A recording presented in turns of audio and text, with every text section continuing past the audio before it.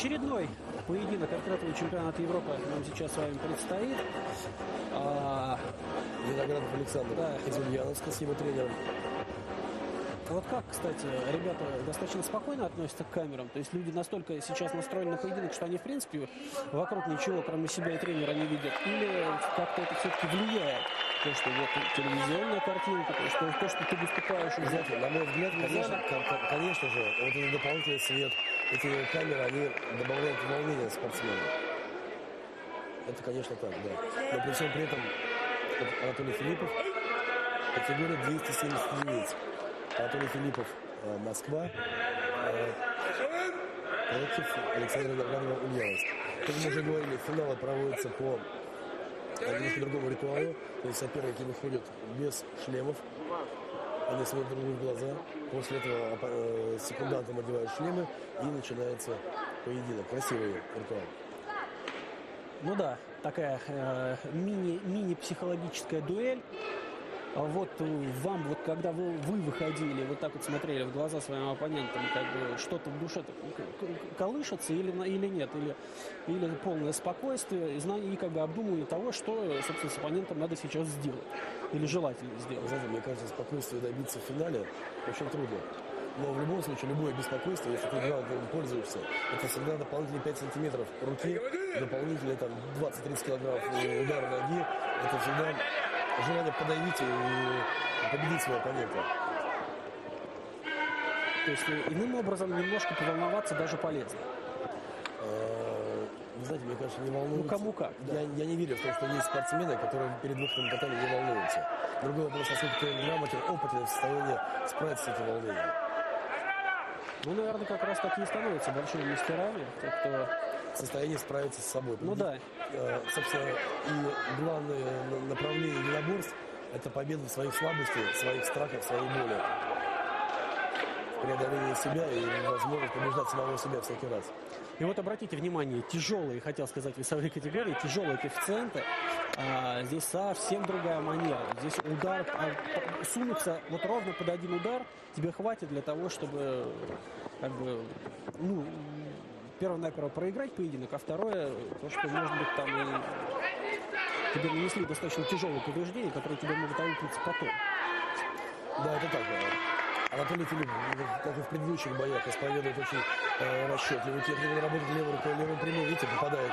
И, как правило, э, левый лоу-кик под опорную ногу, который вышибет оппонента, отправит его на татами и позволит ему уже закончить дело внизу в партере. Я помню выступление, которое, конечно, вот когда только-только мы знакомство с Кудо начиналось, э, выступление Глеба Молоткова, у которого был чудовищный просто лоу-кик по мощи. Сколько он народу отправил в технические вот эти нокауты, когда Один- люди не один могли лоу-кик, стоять. да. А- Один, один лоу-кик, человек больше ничего не делал. Человек не бил, э, то есть человек, человек, э, противник находился в сознании, но при этом бой продолжать не мог, потому что не стоял. Уже стоит энергия.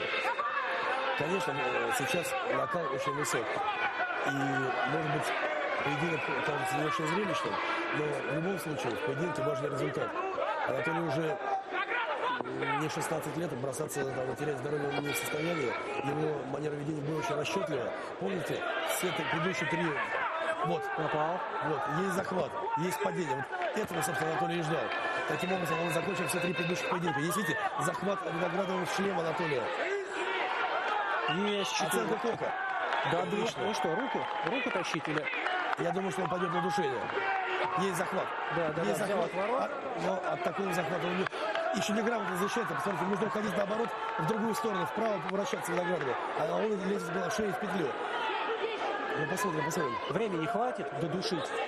По-моему, ну, по-моему, нет, не очень. Но в любом случае, Ну, Кок-то уже есть. Александра Потрясенова уже есть оценка как Ирина Быкова болеет за своего коллегу по команде. И видно, кто-то из судей ей сказал, Ира, чуть менее эмоционально, дескать, уйди. В любом случае, единоборство – это уважение к традициям и к ритуалам. Какие бы ни были сильные эмоции, их нужно уметь сдерживать. И это об этом постоянно говорит наш наставник. Ну что ж, одно кока и дополнительное время. Да, абсолютно верно. Поединок сейчас будет продолжен. Кстати, э, что, собственно, сенсей Адзума Такаши сказал о перспективах дальнейшего развития Кудо по э, миру и в России в частности? Ну, во-первых, он поблагодарил всех тех иностранных спортсменов, которые нашли себе силы э, и возможности приехать на это мероприятие.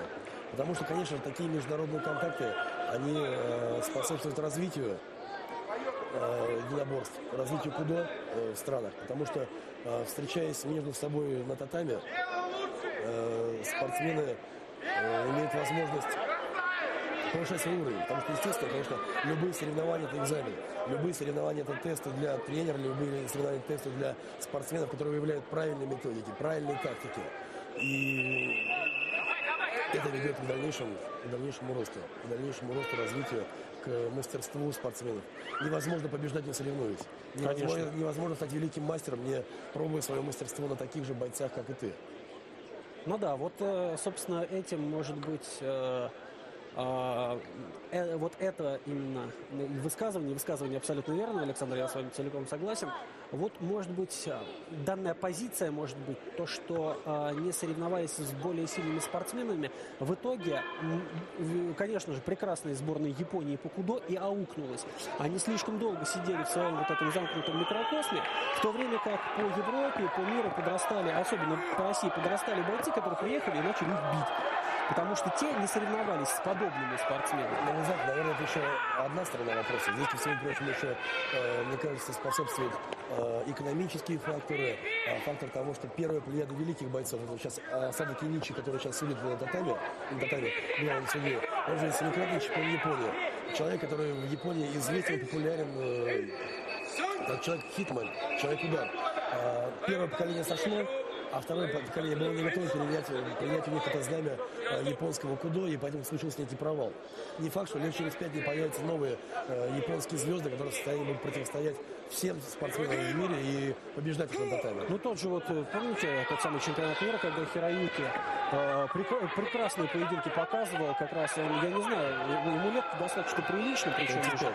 35, ну, ну, какие роскошные болевые приемы, насколько он умный, э, я не знаю, уместно ли сравнение не по-японски, он... Вы, вы говорите про Агаву. Да. Агава это, в принципе, спортсмен нонсенс. Мы уже говорили однажды, что в свое время, придя в Кубу, он снял свой черный пояс по бесконтактному карате и с нуля дошел до четвертого дана, став чемпионом мира, закончил свою спортивную карьеру. Но сейчас давайте вернемся лучше к нашему поединку, потому что... Э, это все самое интересное, да?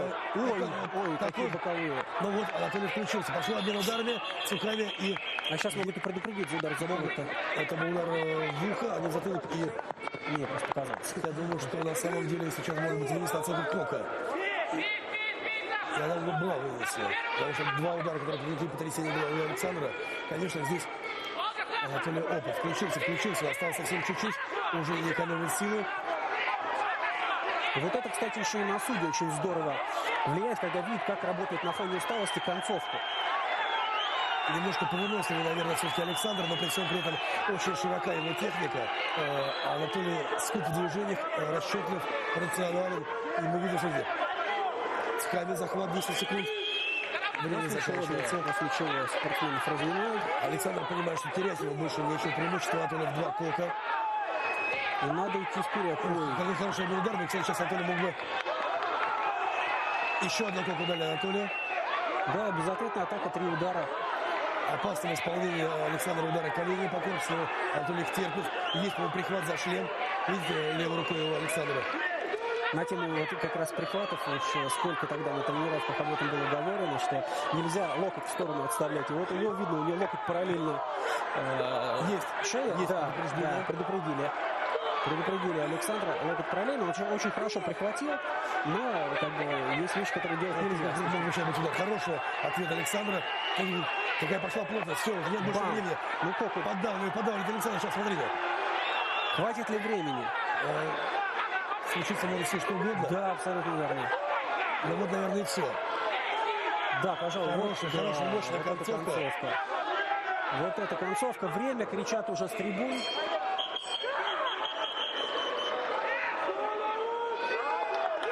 Да, вот, вот это против опыта. Два кока дают возможность Анатолию одержать победу в, этом, в этих соревнованиях. Это единственный бой, который он выиграл досрочно. Молодец. Который не выиграл досрочно. Который не выиграл досрочно.